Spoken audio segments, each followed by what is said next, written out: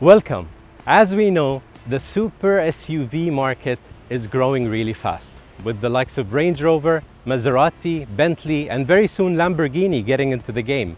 But we are here today in Fujairah for the media event of the launch of the brand new Porsche Cayenne, the car that started it all back in 2002. Let's know more about this car. And don't forget to subscribe to our YouTube channel to keep updated with our latest videos. We get the 2018 Porsche Cayenne in three different models, the Cayenne, the Cayenne S, and the Cayenne Turbo. Looking at the front of the Porsche Cayenne, you won't really know if this is the new or the old one, unless you work for Porsche of course. But once you take a look at the rear, you will know it's the all new 2018 Porsche Cayenne. You can directly tell from the red light strip running across the rear, just like in the new Porsche Panamera. The new Cayenne uses the same infotainment system you find in the new Panamera, which means a touch panel around the gear selector and a large 12.3 inch central screen and twin screens within the instrument cluster. It also features an adaptive cruise control and a comprehensive park assist and the unique wheel rim protection system that alerts the driver to any obstacle that could cause any damage to the wheels or the tires.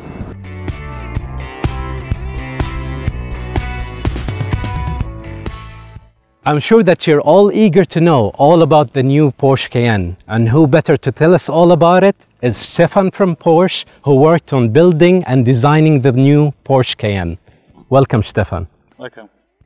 Let's begin with the styling. The first time I look at the new Porsche Cayenne, I think, oh, this is the Porsche I've known all my life. Tell us, how did you manage to do that? Okay, for us it was important to make the new Cayenne with a fresh design, but keep it Porsche. So especially we a lot, uh, do a lot of work here on the fly line. We reduced the roof above one centimeter against the Cayenne before. So on the other side, we have the typical three air intakes in the front. We have a very clear line over here. And so you have a sharp design to, just to the end of the car. So let's talk about the interior now, because with the new Porsche Cayenne, once you step inside, you just feel you're in a brand new car. Tell us, how did you work on the design of the interior? Okay, even in the design, we want to have the Porsche design DNA integrated in the SUV. So of course, the ignition is on the left side. Mm -hmm. The highest point in the instrument panel are above the um, instruments. We integrated a fully new PCM system for the infotainment with a 12.3 inch display. So Stefan, I know in the brand new Porsche Cayenne you worked a lot on uh, decreasing the body roll and giving us more handling on the road. And you did that by adding a lot of technical new aspects to the car. Can you talk a little bit about that, please? Yeah.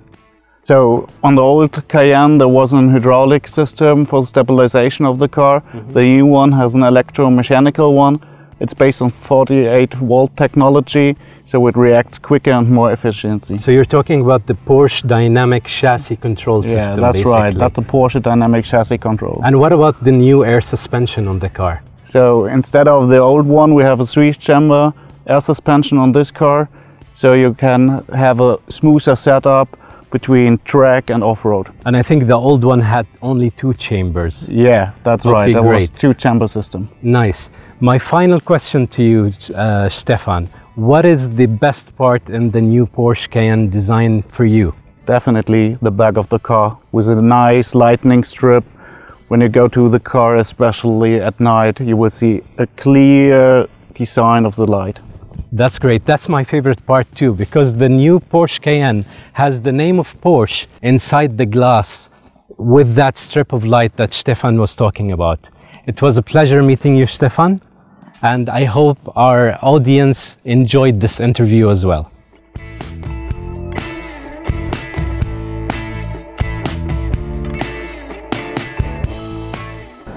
The base Cayenne is powered by a 3-liter V6 that produces 335 horsepower. Oddly enough though, the more powerful Cayenne S has a smaller capacity V6, only at 2.9 liters, but it still betters the 3 liter unit by 99 horsepower, to give it a total power output of 434 horses. The motor that powers the Cayenne Turbo is a V8 of a capacity of 4 liters to help it produce 542 horsepower. The Cayenne is equipped with a conventional automatic gearbox instead of the Porsche well-known PDK dual clutch gearbox. The reason for this is mostly because Porsche wanted the Cayenne to be capable of towing 3.5 tons.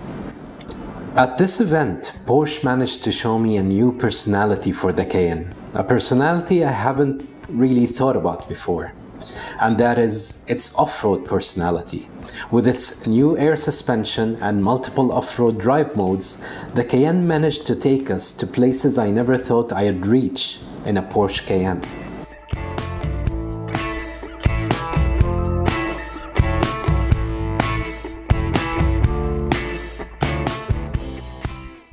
After experiencing the brand new Porsche Cayenne at this event, I can assure you that the third generation of the car really captured the spirit of what Porsche calls sports car together.